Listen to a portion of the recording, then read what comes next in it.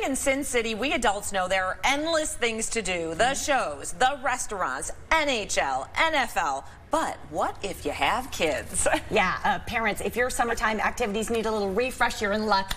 Blogger, YouTuber, podcaster, and pop culture expert, dad of three, Perez Hilton is here. How are you, buddy? I am here for the summer and I love Las Vegas.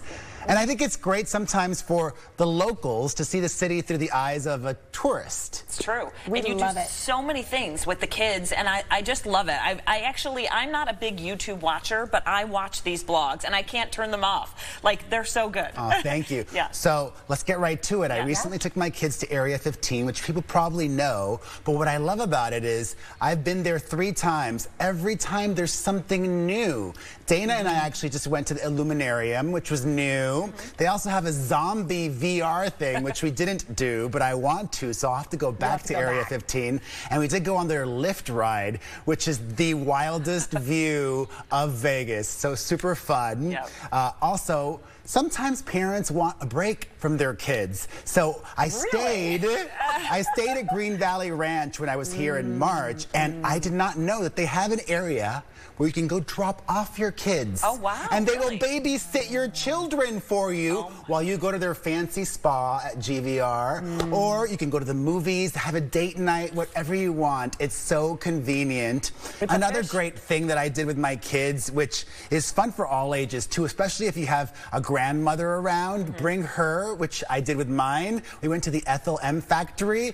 Who doesn't love trying different kinds of chocolate? It's the best. And they had that beautiful cactus garden as Mm-hmm. well. I love experiences where you can get a two in one. Do this and that as well. So I highly recommend that. Yep. Also, recently I went to the Venetian and I love the Venetian because there's so much to do there. Mm-hmm. It's ginormous.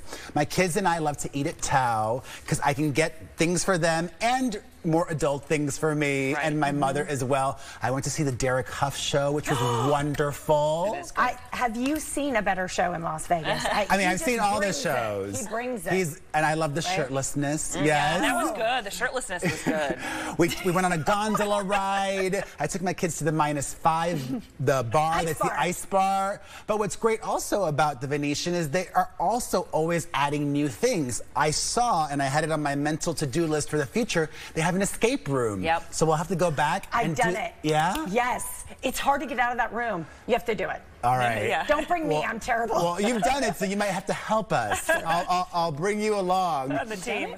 Something, never done it. Something I've done, which I think is great right now in the heat of the summer, is Mount Charleston. Yes. I did not know that if you went there, it's 20 or 30 degrees cooler. Isn't that cool? And I have to go again because I hear now they're doing some really fun things around Chris, the holidays, Mm-hmm. Christmas do. time. Um, like, I, I just love the variety of things to do in Vegas. I'm going to add something to that. You're going to have to hop over to Lee Canyon and ride the ski lift during the summer. We'll talk. Oh, I did not Yes. know that. Yeah, that's cool one. A new attraction right on the strip is Flyover Las Vegas, which I went and I loved. If you've ever been to Disney California Adventure, the Imagineer that built that soaring ride is the same person who did Flying Over Vegas. So super fun.